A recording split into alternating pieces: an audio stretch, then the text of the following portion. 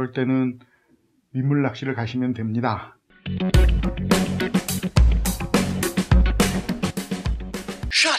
And sit down.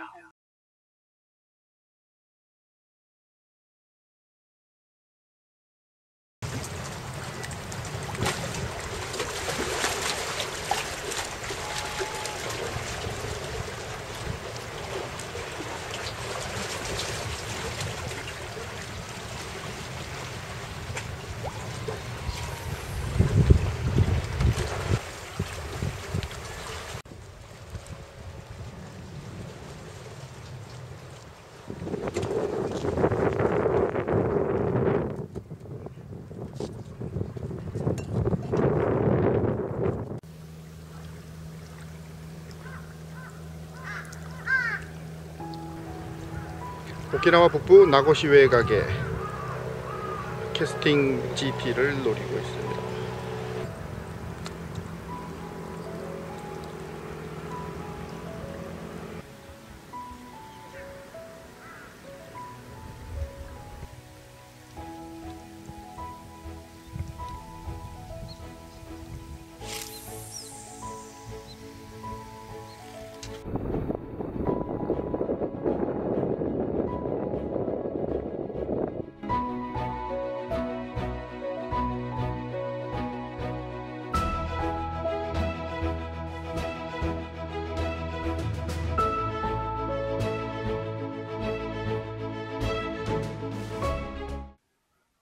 바람이 불거나 날씨가 안 좋아서 비가 내리거나 reef wading이 위험할 때가 있어요.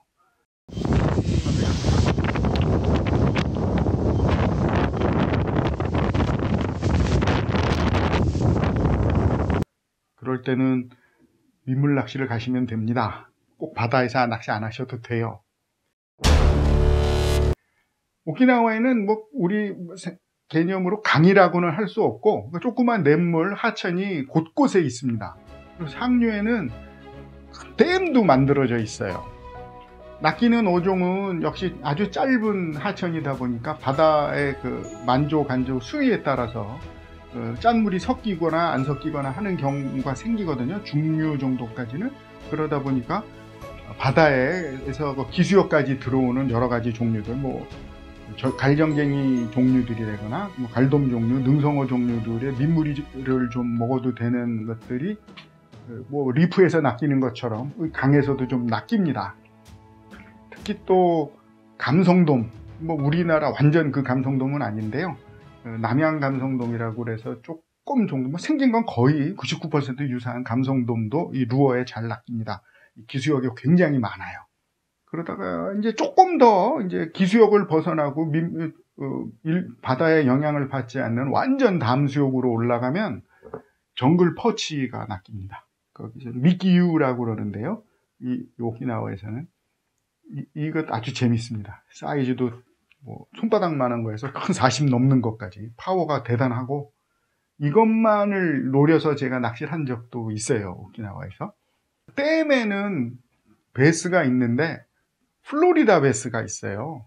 이거는 70년대 그 주둔했던 미군들이 풀어놓은 곳들입니다.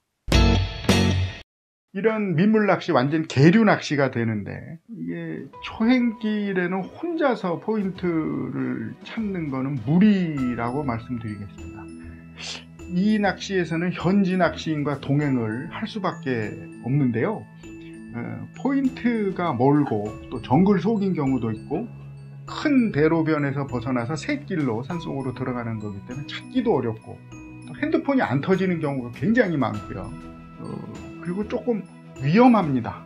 정글을 헤치고 들어갈 때. 아, 뭐 물론 뭐 위험하다는 게 치안 문제가 아니고 하부라고 부르는 현지에서 하부라고 부르는 독사가 있어요. 예, 그 독은 우리의 그 살모사보다는 약하다고 하는데 송곳니가 살모사보다 훨씬 길어가지고 한 번 물리면 몸에 들어가는 주입되는 그 독의 양이 치사량이 들어간다고 그러더라고요. 그래서 오키나와 게이류 낚시에서는 필수적으로 현지인을 동행하시고 하부가 출몰하는 지역에 들어가지 않도록 주의를 하셔야 됩니다. 자, 그렇다면 이렇게 민물 낚시를 혼자서는 못하느냐? 아니에요. 시내를, 나하 시내 얘를 흐르는 도랑으로 까시면 됩니다. 틸라피아가 우룩을 대고요.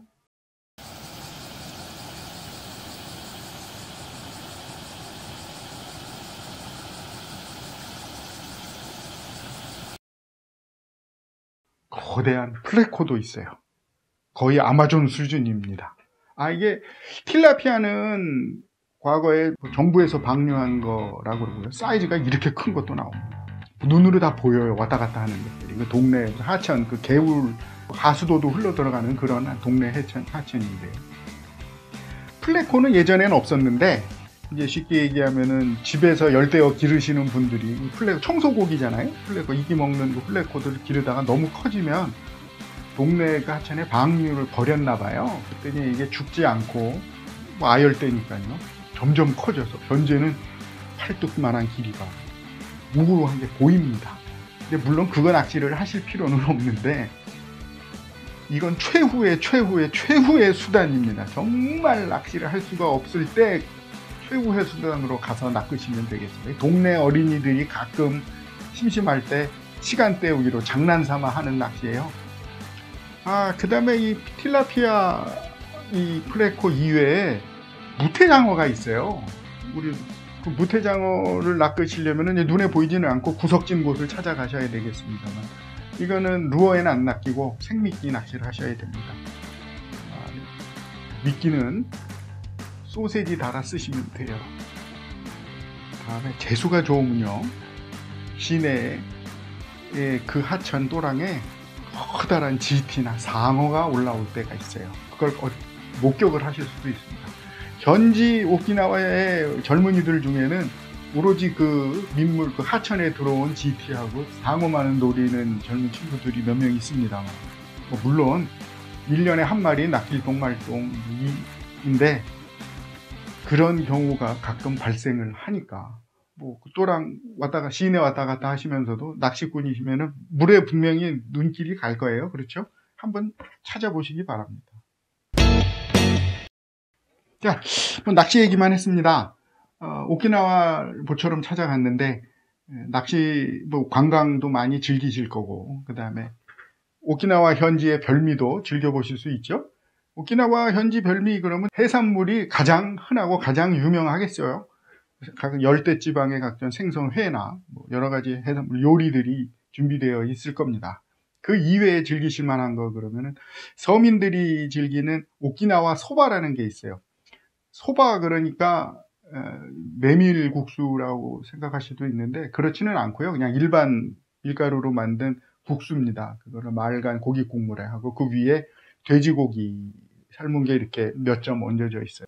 그 다음에 테비찌라는 요리가 있어요. 테비찌는 쉽게 얘기하면 돼지 족발을 튀긴 겁니다. 맛있습니다. 그 다음에 막 만드는 돼지고기들이 요리가 이런 머릿고기, 뭐 귀 이런 것들이 있고 그 다음에 야기라는 게 있어요. 야기는 이제 염소인데 예, 오키나와에서는 자양강장 남자의 좋은 요리다라고 해서 또 좀 비싸게 팔고 있는 전통 요리입니다. 오키나와 전통 요리 이외에 아까 말씀드렸죠. 미국의 영향을 많이 받았다. 아메리카 군인들, 미군들이 주둔을 오래 했고 지금도 주둔하고 있기 때문에. 그래서 시내에 나하 시내 여기저기 스테이크 요리집이 많이 있어요. 저렴한 가격으로 큰 sirloin 스테이크, tenderloin 스테이크 맛보실 수 있습니다.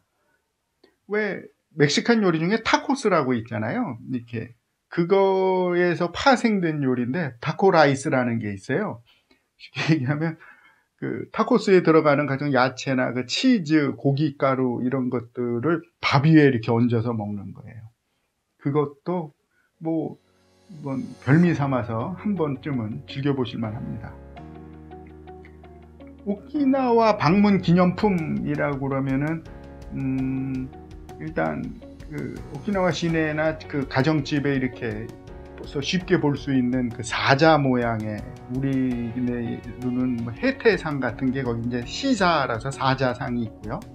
그것들이 이렇게 예쁘게 장식품으로 만들어진 것도 여러 가지가 있고 그 다음에 소금이 유명합니다. 산호 소금 순도가 높은 소금이고요. 사탕수수에서 설탕을 만드는 그 공장이 여기저기 있어요. 오키나와에 제일 많은 농산물이 이제 사탕수수인데 각 그 원당들 오키나와 뭐 어느 지역의 사, 사탕수수 원당이다 흑당이라고 저서 많이 파는 것들 그것도 괜찮습니다.